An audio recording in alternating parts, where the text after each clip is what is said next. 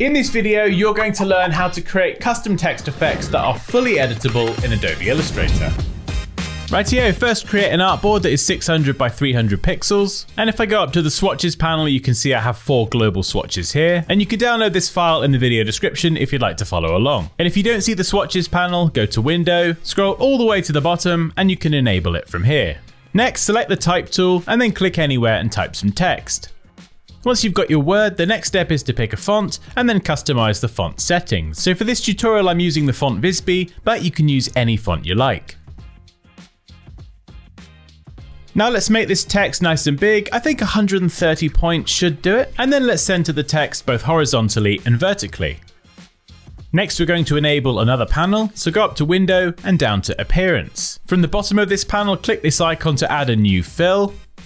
And then from the drop down, we can pick one of those global swatches. I'm to go with the really, really light gray, almost white, but not quite. And then I can click this icon to duplicate that fill and change the color of the bottom one to the darkest of those four swatches, which is like a super dark purple. Next, let's click the effects icon and go to path and select offset path. I'm going to set this to 5 pixels, but you can make this thicker if you'd like a thicker border. Now let's go to distort and transform and select transform. So we're now going to move this horizontally and vertically 1 pixel, and then we can set the number of copies to something like 10.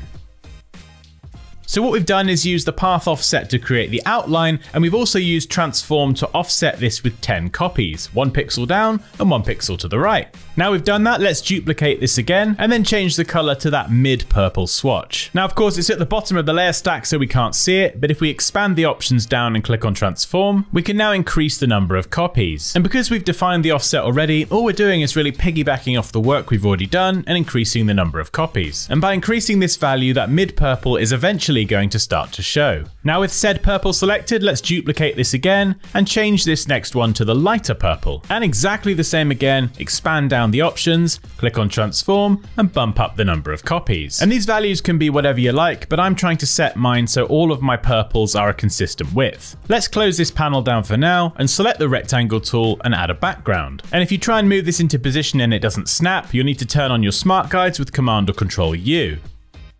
You see? There we go, much better. Let's increase the size so it fills the entire artboard, and then right click, go down to Arrange, and select Send to Back.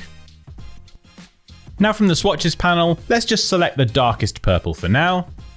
And then if we select the text again, and open up the appearance panel, we can now carry on. Let's go ahead and add another new fill. You can see it adds it at the top by default, but we're going to need to drag this to the bottom of the layer stack. And then let's set the color of this to white, but not quite. And of course it's on the bottom, so you can't see anything. So let's go and add an effect. We'll go to path, select offset path, play around with a few different values here. So we'll go for 10, 9, 10. Yeah, we'll go with 10. Now, as you can see, the offset alone doesn't really work and it's still behind all of the other fill layers. So to make sure this white border encapsulates our entire design, we need to add another transform effect. Again, move this by one pixel horizontally and vertically, and then increase the number of copies. And as you do this, you'll start to see the border gradually encapsulates more and more of the design. Now, this is right in principle, but it's looking a bit janky and inconsistent around the edges. However, there is a fix for this, but first let me demonstrate with the type tool that this text is still editable, which is just great. What's not great though is that we need to make this text non-editable before we move on. So to do this, go to type and select create outlines. Next, select the direct selection tool, and then if you click and drag on one of the control points, it rounds off the corners of your text, which miraculously fixes all of those issues. No more janky edges and the border width is consistent. Now, if you can keep your text live and editable, great, but if not, just make sure you're happy with your word and your font before moving on. Now I'm just going to spend a couple of seconds tidying up this design.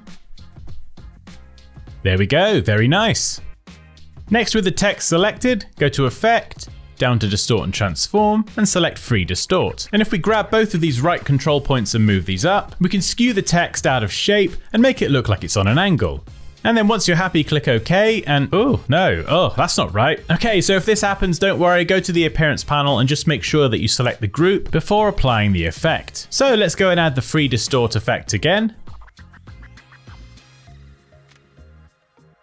And there you go, you can see it gets applied to everything. And this effect is listed here if you'd like to change or delete it. Lastly, I'm going to select the rectangular background and open up the gradient panel. Click anywhere on the slider to add a gradient and set the type to radial. And if you double click the white swatch, navigate to swatches, you can then add that mid purple and then double click the black and set this to our super dark purple. You can now move the swatches or the midpoint on the gradient slider to fine tune the gradient. And if you click this drop down here, you can reduce this value from 100%, which will squish down the gradient instead of it being a perfect circle. Lastly, go to Object, Lock, and Selection to lock the background in place. Let's pop the final design perfectly in the center. And there's our final design. And even though the text isn't editable anymore, all of the appearance effects, the global swatches, etc., well, they all are.